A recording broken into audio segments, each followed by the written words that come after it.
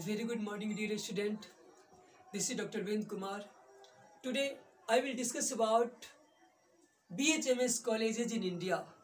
Bharat में कितना BHMS college है BHMS that is bachelor of homeopathic medicine and surgery तो ये भारत में कितना BHMS कॉलेज है और कितना सीट है आज हम उसके बारे में बात करेंगे तो फ़र्स्ट आंध्र प्रदेश आंध्र प्रदेश में seven B H M S college है और टोटल सीट है पाँच सौ इक्यावन बी एच एम एस में और एम डी में सीट है forty two second Assam Assam में तीन B H M S college है और सीट है one eighty nine Arunachal Pradesh में एक B H M S college है और सीट है फिफ्टी बिहार में पंद्रह B H M S college है और टोटल सीट है आठ सौ पच्चीस और एम डी में सीट है फिफ्टी टू छत्तीसगढ़ में तीन B H M S college है सीट है दो सौ।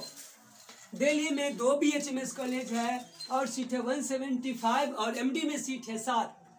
गोवा में एक B H M S college है सीट है फिफ्टी गुजरात में थर्टी फोर बी कॉलेज है सीट है तीन हज़ार चार सौ पचास और एम डी में सीट है नाइन्टी थ्री हरियाणा में एक B H M S college है सीट है पचास।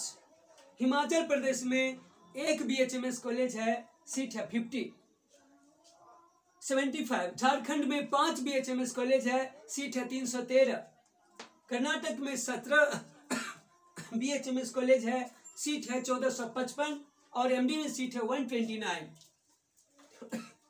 केरल में छह B H M S college है, सीट है दो सौ बयालीस। एम डी में सीट है थर्टी सिक्स मध्य प्रदेश में twenty five B H M S college है। सीट है दो हज़ार दो सौ तीस एम डी में सीट है एक सौ तेरह। महाराष्ट्र में fifty eight B H M S college है और सीट है चार हज़ार पाँच सौ साठ एम डी में चार सौ उनसठ सीट है। मेघालय में एक B H M S college है, सीट है सिक्सटी थ्री।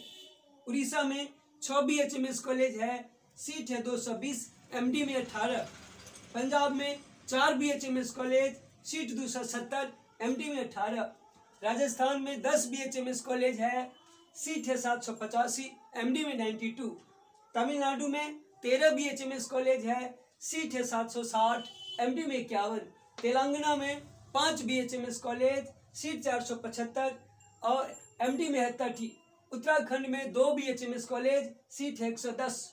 उत्तर प्रदेश में तेरह B H M S college seat दस सौ बाईस एम डी में एक सौ बयालीस वेस्ट बंगाल में बारह B H M S college seat सात सौ ग्यारह एम डी में सिक्सटी सिक्स चंडीगढ़ में एक B H M S college seat है पचास। तो अंडर ग्रेजुएट में total B H M S seat अठारह हज़ार आठ सौ इक्यासी पीजी में सीट है तेरह सौ सत्तर टोटल कॉलेज है दो सौ पैंतालीस।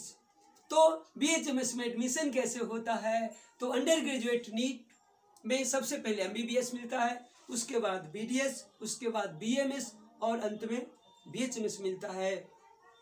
आप नीट का अच्छा से तैयारी कीजिए। एनसीईआरटी का फिजिक्स, केमिस्ट्री, बायोलॉजी को अच्छा से पढ़िए। Objective physics, objective chemistry, objective biology को अच्छा से तैयारी कीजिए।